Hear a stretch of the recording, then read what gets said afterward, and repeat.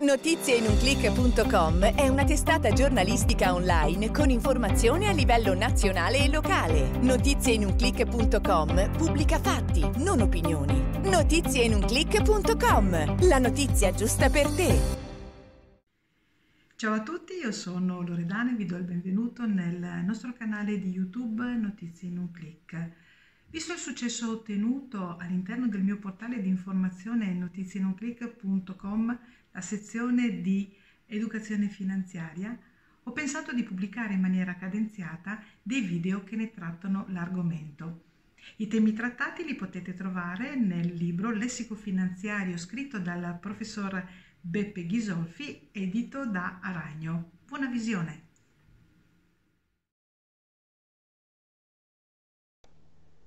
Einaudi, liberale economista europeista, di Aldo Mola, storico nel settantesimo del suo insediamento alla presidenza della Repubblica. Il 12 maggio del 2018, capo dello Stato Sergio Mattarella ha rievocato Luigi Naudi nel settantesimo del suo insediamento alla presidenza della Repubblica Italiana, visitandone i luoghi memorali, la tomba del cimitero di Carù in provincia di Cuneo e la villa di Dogliani, dalla celebre biblioteca dove è stato accolto dai familiari dell'insigne statista guidati dal nipote architetto Roberto Einaudi.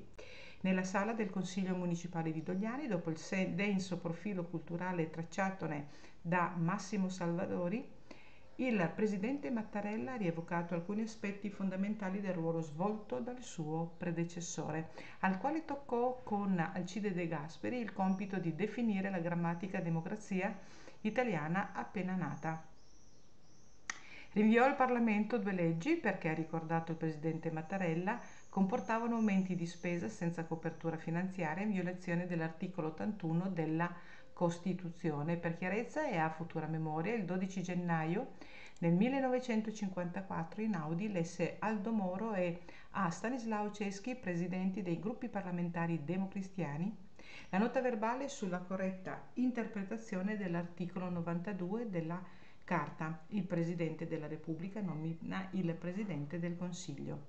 Motivata dal dovere del Presidente della Repubblica di evitare si pongono precedenti grazie ai quali accada o sembri accadere che egli non trasmette al suo successore immuni da ogni incrinatura le facoltà che la Costituzione gli attribuisce ed è un dovere oggi incombente.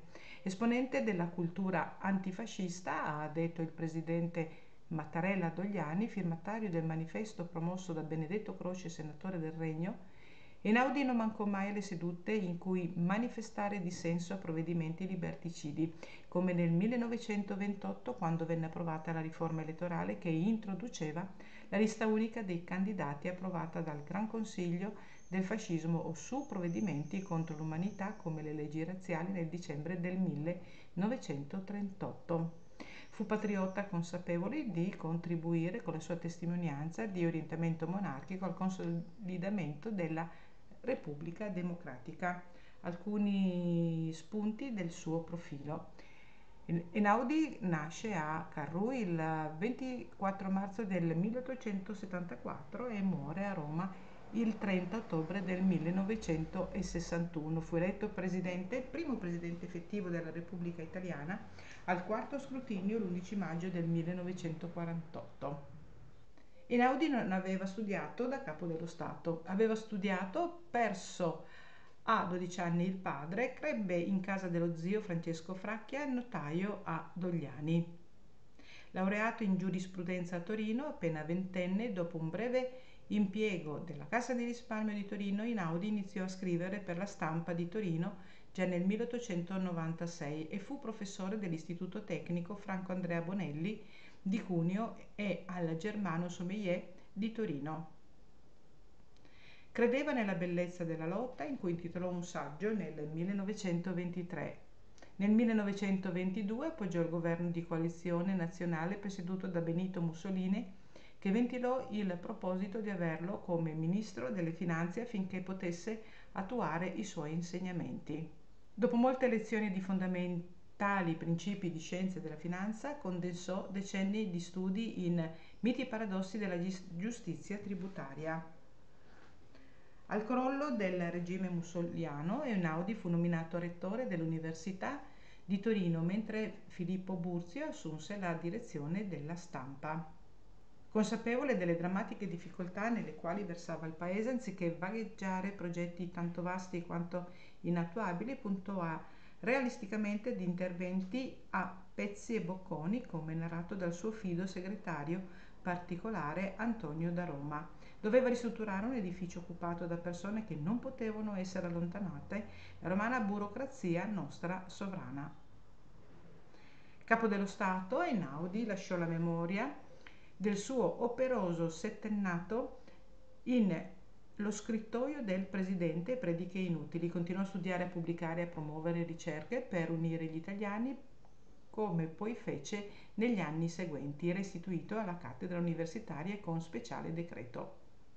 Qual è l'eredità di Einaudi? Quando sentiva, talora anche da persone vicine, vagheggiare di ideologie sovietiche, Neppure rispondeva, batteva il bastone per terra per dire che era impossibile dialogare. Anch'egli auspicò riforme mai attuate, a cominciare dall'abolizione del valore legale dei titoli di studio. Avversò strenuamente il mito dello Stato sovrano, anche con pagine pubblicate nella piccola antologia federalista comprendente scritti di Jean Monnet e Denis Rogemont e di molti altri. Qui abbiamo appunto eh, parlato, accennato di Luigi Naudi e abbiamo finito con oggi. Per chi volesse leggere tutto l'articolo può andare su Notizie in un clic e cliccare, come dico sempre nella, nella lente, e digitare Naudi liberale economista europeista. Grazie per la vostra attenzione, vi do appuntamento per domani che parleremo di Equitalia, Agenzia delle Entrate.